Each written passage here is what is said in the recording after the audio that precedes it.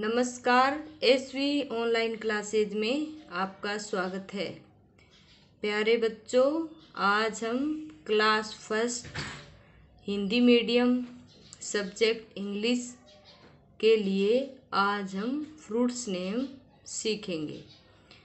तो सबसे पहले फ्रूट की स्पेलिंग आपको ध्यान में होनी चाहिए। F R U I T fruit means फल होता है। एस लगने से यानी कि फ्रूट्स बहुवचन हो जाता है बहुत सारे फलों के लिए। F R U I T S fruits यानी फल। तो सबसे पहले आपको जो दिखाई दे रहा है चित्र में इधर, ये मैंगो का है। ये है आम। आम फलों का राजा होता है। M A N G O mango यानी आम। तो देखिए, बहुत ही स्वादिष्ट फल है और इसमें जैसे बच्चे आम का जूस भी पीते हैं और वैसे भी आम खाते भी हैं। तो आम को फलों का राजा माना गया है, सबसे स्वादिष्ट फलों में से माना गया है। M A N G O mango यानी आम।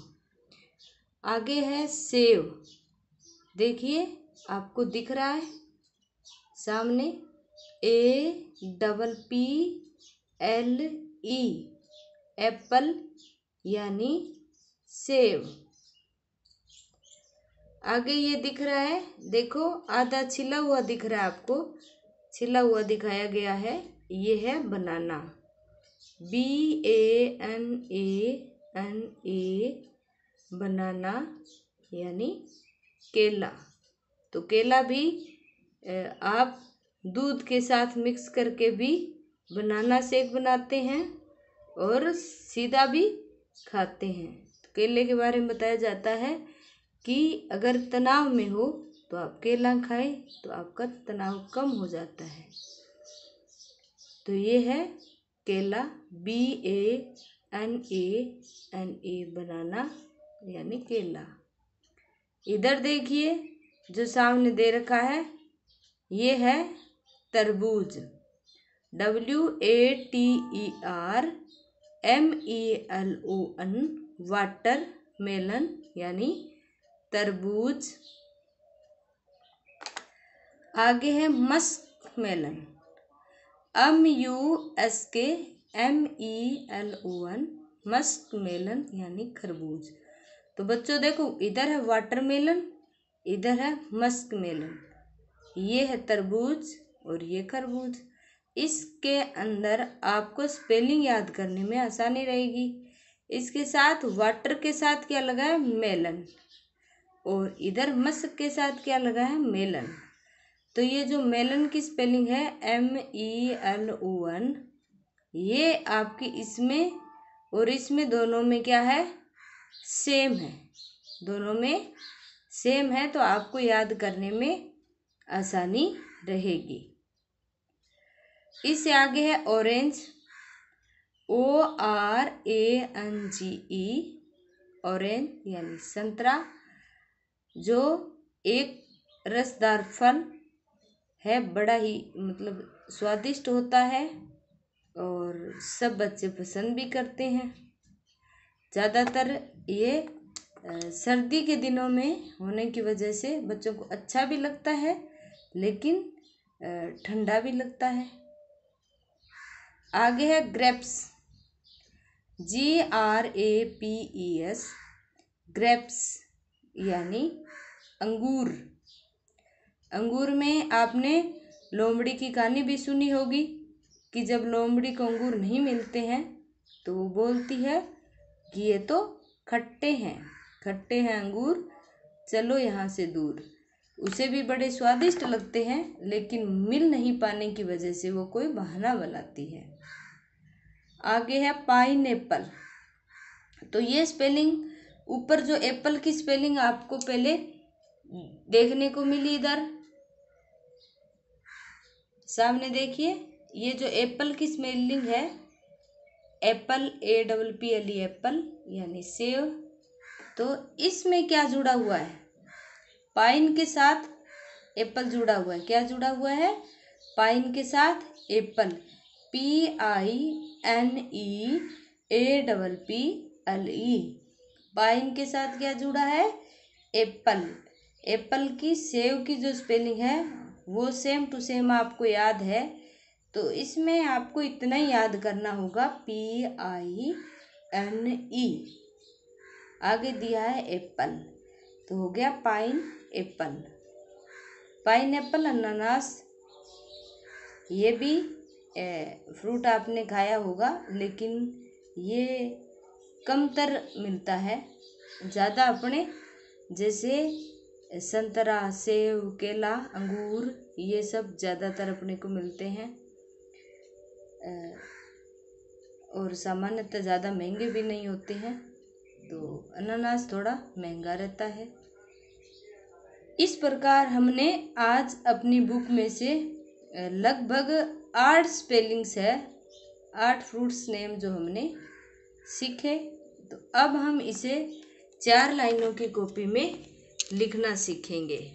तो प्यारे बच्चों, आप भी इसे चार लाइनों की कॉपी में लिखना सीखें और इस वर्ग को सुंदर सुंदर करना है और याद भी करना है।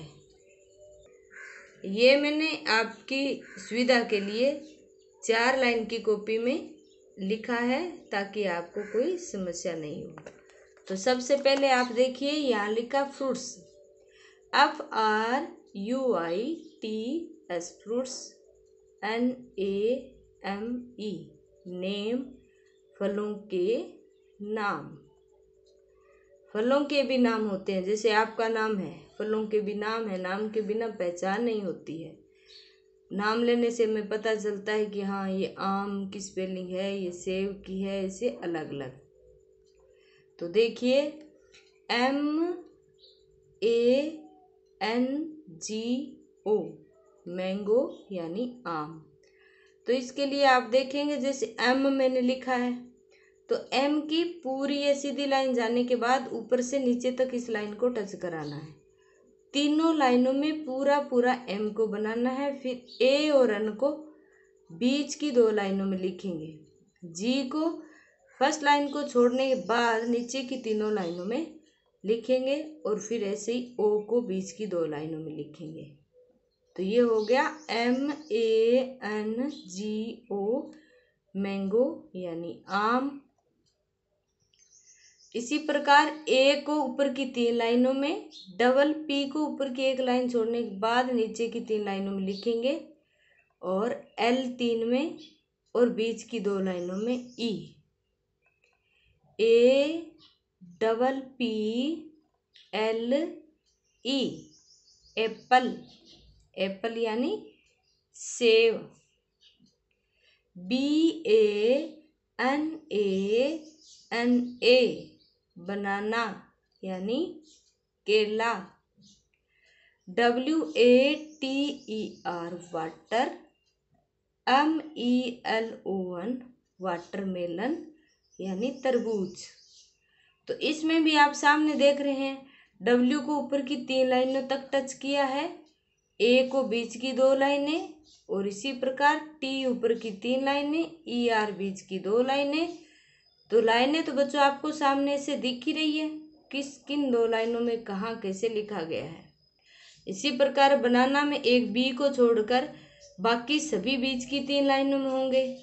एक बी होगा, वो ऊपर से लेके ऊपर की तीन लाइनों में होंगे। लेकिन ए, एन ए एन, ए, ये बाकी के जो पाँच अक्षर हैं, ये बीच की दो लाइनों में होंगे। इससे आगे muskmelon.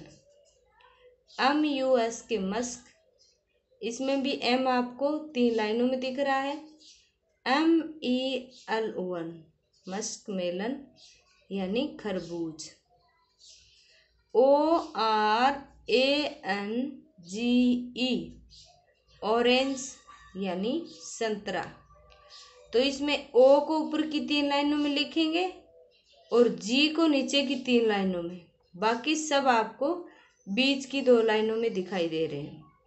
O R A N G E orange यानी संतरा।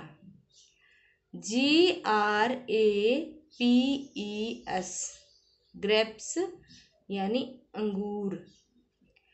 P I N E A double P L E pineapple के साथ ऊपर जो एप्पल दिया है सेम स्पेलिंग यहाँ जुड़ी हुई है पाइन एप्पल यानी अनानास। तो इस प्रकार हमने ये जो आर्ट स्पेलिंग थी, इनको चार लाइनों की कॉपी में पढ़ा।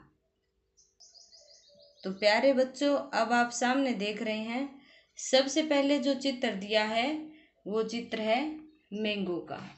किसका चित्र है?